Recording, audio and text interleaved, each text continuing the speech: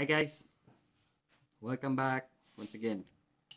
Ah, ito na naman tayo sa another episode. Simple lang ito. Um, ang problema kasi why I have to show this video kasi minsan at kadalasan sa atin is um, pag may sira sa bahay, bili agad or yung mga ibang hindi marunong or I don't, they don't want to explore. So, simple lang naman.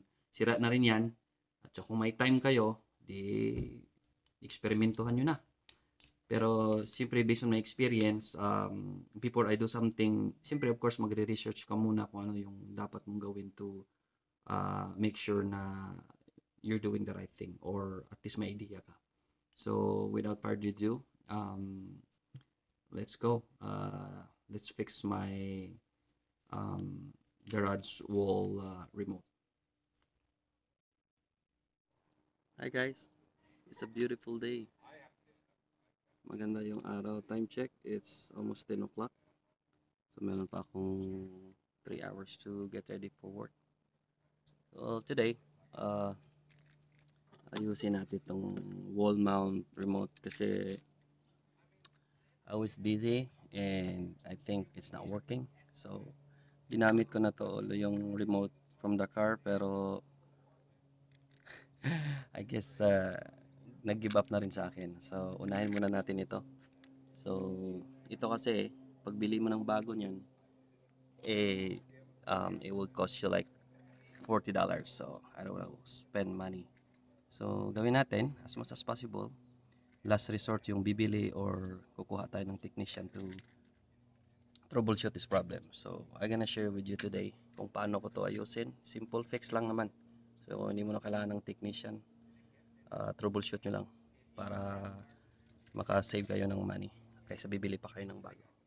So, this is a ball mount from Genie uh, Garage Opener Door. So, stay tuned. Alright guys, so ito na siya. Um, kinuha ko na doon sa wall. So, bago yan, uh, dapat natin alamin kung paano natin kinuha. Okay lang yan kung um, kayo nag-install, eh, alam nyo kung paano kunin. So, shall we say, meron kayong ganitong uh, garage door sa wall, which is yan yung entrance yun. Normally, yan yung ginagamit ko kasi pag pumasok ko sa garahe. Kasi hindi ako nagagamit ng main door. So, ito, pwede to wall. At saka, yung isa is yung uh, uh, remote na pinakita ko kanina sa inyo. So, yung isa na rin yon ewan ko, hindi rin gumana. Kaya I was so frustrated na sabi ko, I gonna fix it. Because ilang taon na rin to mga 6 years siguro. So, ito, sa labas to. So, exposed siya. So, dapat doon yung mga ganyan, luma na siya. So, kadalasan kasi, ang nangyayari is that na nagkakaroon ng moist, dust. So, yung contact ng board at saka yung ito, eh, yun yung problema. So, bago ko ginawang video na to, eh, napagana ko na to. Just wanna show you a simple trick lang naman yan na hindi mo nyo kailangang bumili pa ng bago or kailangan mo ng technician. It's, it's so easy. Uh, yan ang kagandahan kung meron kang uh, kunting kalaman na makasave ka ng money. Kasi ito, ngayon, i worth $40 already. So, kung hire ka siguro ng technician, probably parts at saka yung installation uh, mga ranging from 150 to uh, 200 depende. Kung marunong di mas maganda. So uh, ganito yan doon sa wall so we say open mo siya. So dito yung battery so merong screw. Okay so yun yung tatanggalin mo kasi alam ko. Yan and then pakakatandaan nyo sa likod yan meron din doong screw na nakalagay. So nakaganon yan doon. Okay so pagtanggal ng screw then i-push you up So, tanggal nyo siya. Dito na siya. Lagay nyo siya.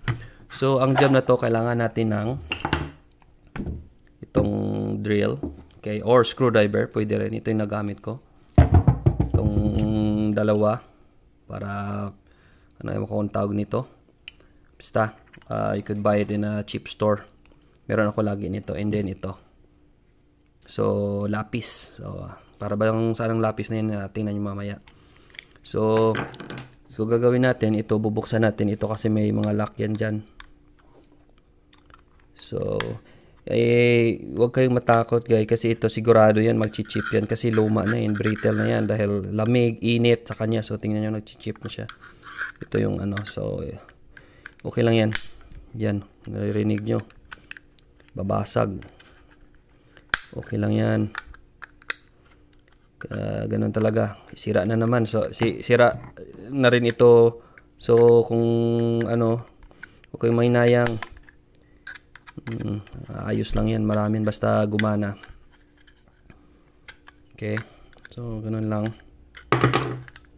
Mahirap kasi pag um, camera um, nagko-concentrate ka tapos nagkakamera ka pa. Anyhow, um, yeah, kita nyo yung lock na yan. So, yung tatanggalin natin. Yan. Yan na. So now yung yan yung board niya. So ito yung pinipindot kasi pipindutin mo to at kung may code din hindi siya gumagana pag hindi mag-contact dito. Yun sinasabi ko. Ganyan yan. So yan. So ito linisan nyo. Okay. Tapos ito yung board niya. So ito yung ginagawa ko. So ito linisan mo. Ito yung use ng lapis. Oh. Okay, lahat. Lahat ng itong bilog-bilog. Yan. Kuha natin yan.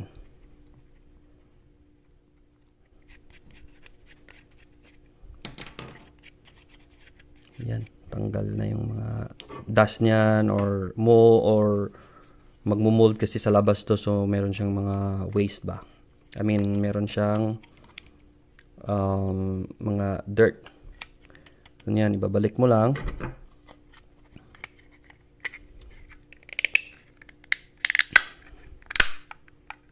So, yan. Tapos, as much as possible, um, lagay kayo ng bagong battery para malaman natin kasi kung mag uh, troubleshoot ka, either yung board, yung mga magnet, or itong battery rin yung um, problema. Kasi napalitan ko na rin to eh ng battery pero talagang ayaw mag-on.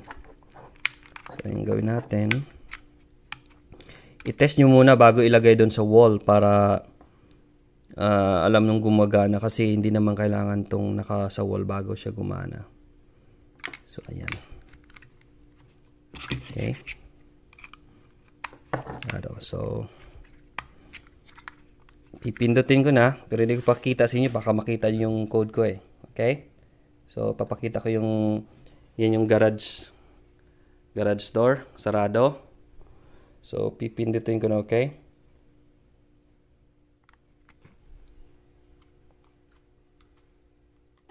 Hmm. So, ayan na. Hi guys. Ganun lang kasimple. So,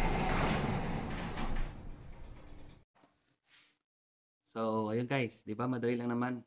So, hindi naman kailangan natin ng rocket science para matutunan or malalaman ng isang bagay.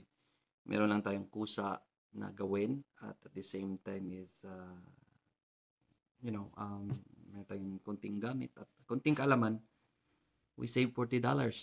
Right? So, sa mga hindi pa naka-subscribe or sa mga mag, mga kaibigan at saka mga nanonood, please subscribe po. Um, as much as possible, like I said, I try to upload videos whenever I can kasi uh, busy lagi. So, anytime I know na may value sa katulad ko na homeowner din at saka laging uh, gumagawa sa pamamahay ko then I will share it with you guys okay maraming salamat sa mga subscribers sa mga nanonood thank you so much guys for this uh, for supporting this channel sana ho eh um, lagi kayo manonood. At saka kung may mga comment kayo uh, mag-comment lang po kayo. Kung may mga tanong kayo gustong gawin ko uh, I wanna hear from you guys. Okay?